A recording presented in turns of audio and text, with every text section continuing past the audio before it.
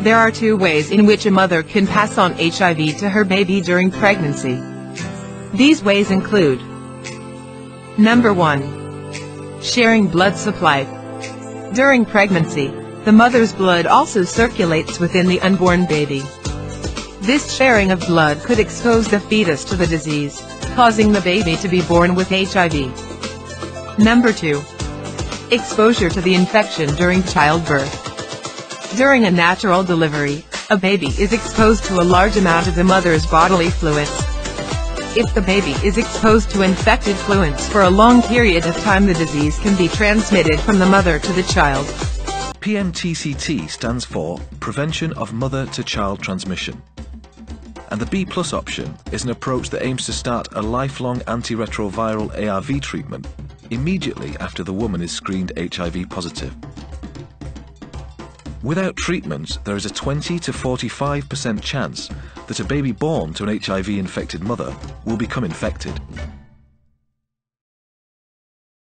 The CD4 count is a measurement of the strength of a patient's immune system. The lower the CD4 count, the weaker the immune system. Under previous approaches, a pregnant woman would only be put on ARV treatment once her CD4 count had reached a threshold, or only for the sole duration of the pregnancy and breastfeeding period.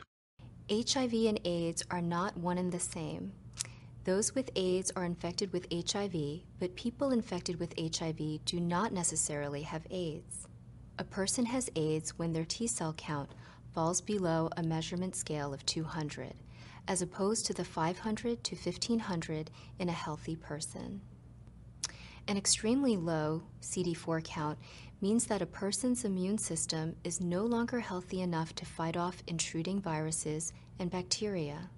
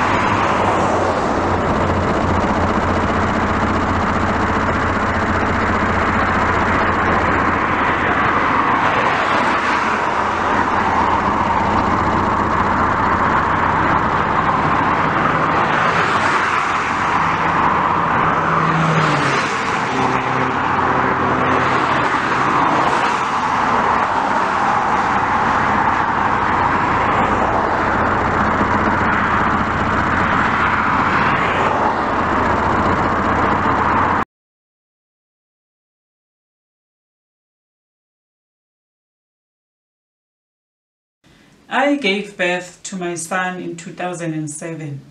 Unfortunately, the virus got into him. He's just a happy soul.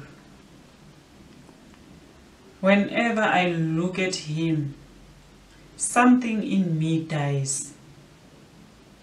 I think I am the one who got the virus to him. Whenever I look at him, become weak and weak. I feel that I am the reason for him to be like that. When I was told I was HIV positive, I was in denial. I refused to take medication. I was smoking. I was drinking. I was just living the reckless life. I want to talk to all women out there. Please take your medication. You're not doing it for yourselves. You're doing it for your angels. When I found out I am pregnant and HIV, I was shocked.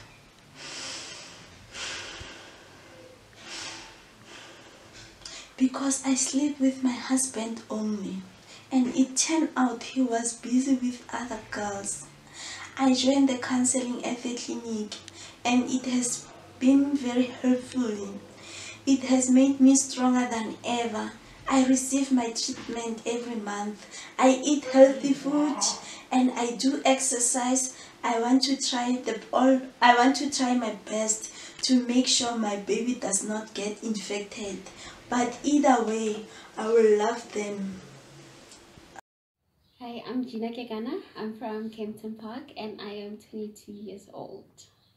Okay, living in a country that has the fourth highest HIV and AIDS rates, how have you prevented yourself from being part of that rate?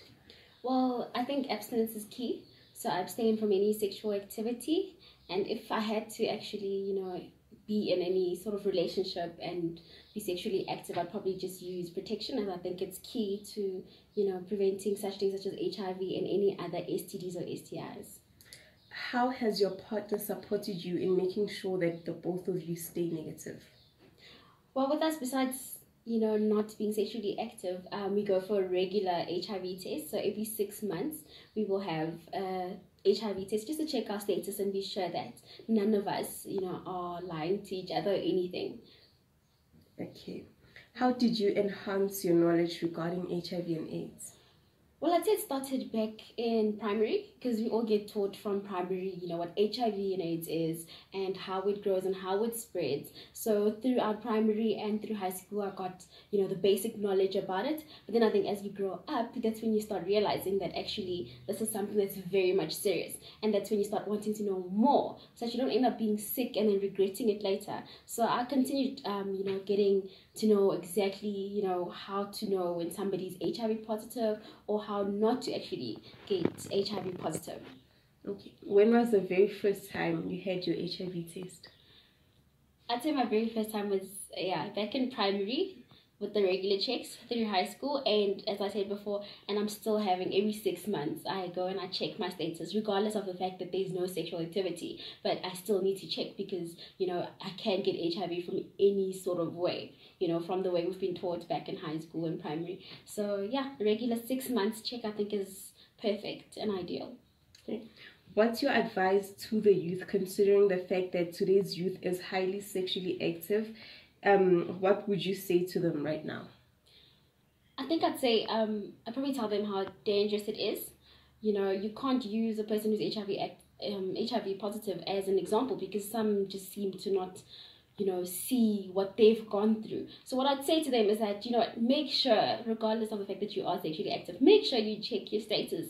You know, even if it's not like me every six months, maybe every seventh month or every year, which I think is a bit too much. But every six months I think for me is ideal because you get to know that the partner you're being with isn't you know being sexually active with somebody else because I can't you can't just get it from me but you can get it from an external partner so I think uh, making sure because we can't stop anybody from being sexually active that's very much. So abstain. You can abstain if you want. Um, use protection and ensure that you check your status every six months. I think it's it's a good way to be sure that you know you're with the right person who isn't doing anything that you wouldn't be doing. okay, and then to those who are already infected with the virus, yeah. what do you have to say to them? I think stay strong. Sometimes it isn't your fault that it happened. Sometimes it is a lesson to others, you know, it's a lesson through, through you, you know, because you made a mistake, you know, you weren't listening and you can, you know, advise others that, you know, listening doesn't help. You need to, no, actually not listening doesn't help. Listening is what helps, you know, because you were once young. I think with the HIV rate, it's mainly young people, I think, who have HIV.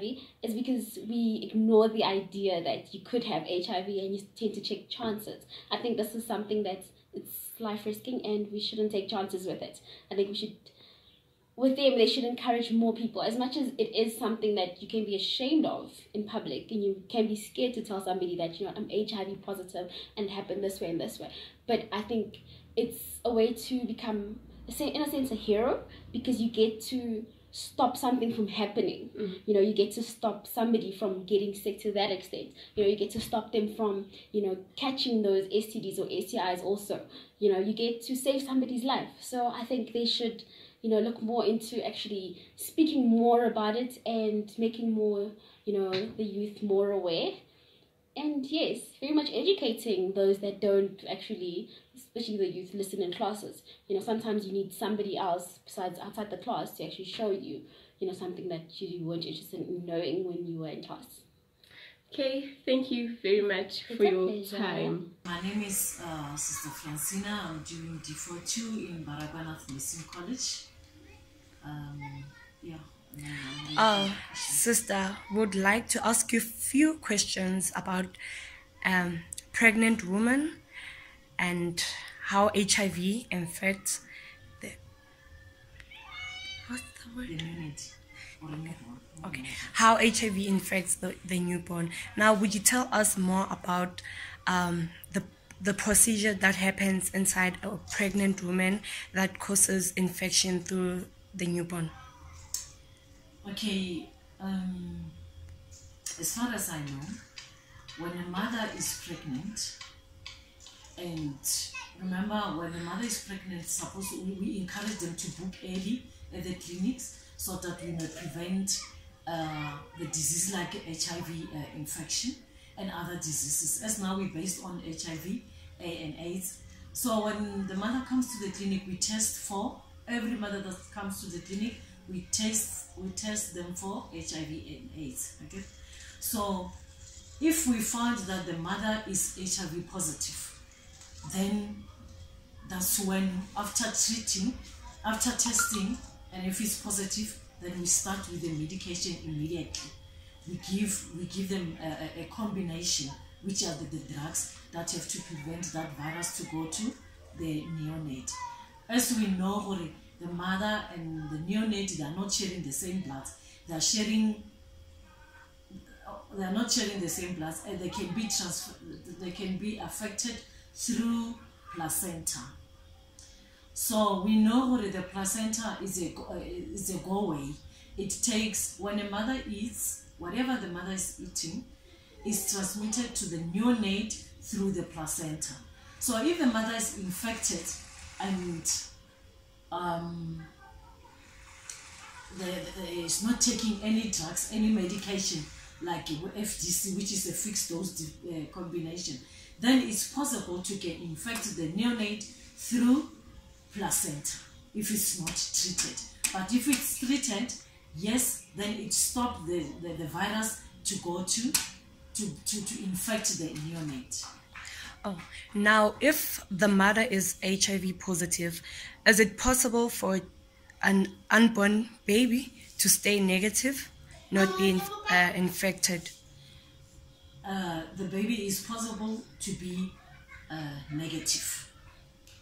That's what I'm saying. If the mother realizes that she's pregnant, she must go to the clinic immediately. She must book early so that we can know the mother's status. Immediately we know, then we give those drugs. Those drugs they prevent the virus to go to the uh, unborn baby. So that's why we encourage them that early booking is it's it's good to them. And then yes, the baby can born not being affected because the mother will be taking that medication. Then after after the baby is born, that's when we give nevirapine because uh, now we do we, uh, with the pregnant woman we if they are infected then we we do this that we call uh, as a prevention to mother to child transmission. So we do that so that we, we don't want this uh, neonate to born with this virus. And how can it be prevented in terms of medication and all that is needed? Uh, firstly, we can prevent it like uh, when the mother uh, does an early booking, and then again is prevented by uh, medication to fight against that virus. Because when after if the mother tested positive, that's when we take blood to, to check for the viral load. So the higher the viral load, the higher the risk. But with the drugs, as we give the drugs, then that's where we reduce the risks of the uh, infection to the neonate. It reduces early booking, it helps, and the drugs, it does helps. Then the nevirapine we give to the um, we give to the neonate after birth, immediately after birth, for six months, and then we do what is called um, uh, testing for PCR. So we want to see if this baby is tested negative or positive. But if the mother was taking FDC before immediately she tested positive, then the chances of infecting the baby they are very, very thin. Um, That's why we encourage early uh, in conclusion, as we wrap up, Sister Francina, how would you encourage pregnant women with HIV? Um, with pregnant women who are exposed, we encourage them to to book early, firstly, to stick to their drugs.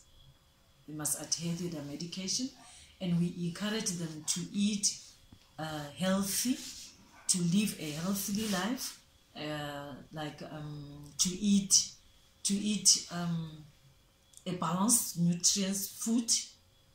We encourage them to exercise, not strenuous exercises, but like uh, you know this slightly exercise for pregnant women, and also we we encourage them to to uh, to condomize.